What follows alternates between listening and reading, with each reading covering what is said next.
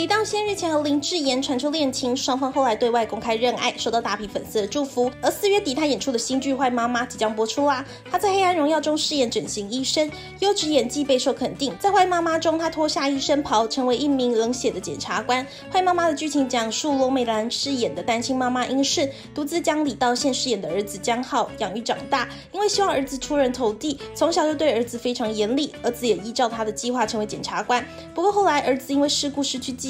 智商剩下七岁，两人的生活因此重新开始，也渐渐找到真正的幸福。坏妈妈今日曝光李道宪的剧照，呈现他从努力读书的学生，变成一个冷酷的检察官，最后成为一个呆萌的孩子。这个角色巨大的转变，让人十分期待他在新戏中的表现呐。